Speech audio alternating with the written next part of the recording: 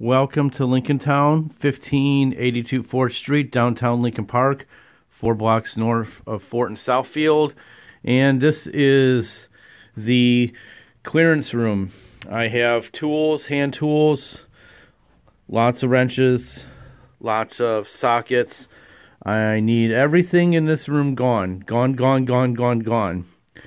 Got um, a couple of... Um, um, power strips. I got a lot of power strips, about two dozen of them.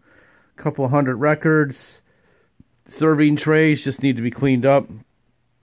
Got all kinds of game, video games. Got all kinds of DVDs, movies. We have lots of full-size mattress pads. About uh, 15 of them. So the tools, any five tools for a dollar. Um, the mattress pads, $2 each. That's a $25 item. The power strips, uh, we're doing 2 or $3 on each of those. Albums, 3 for a dollar. The DVDs and the video games, a dollar each.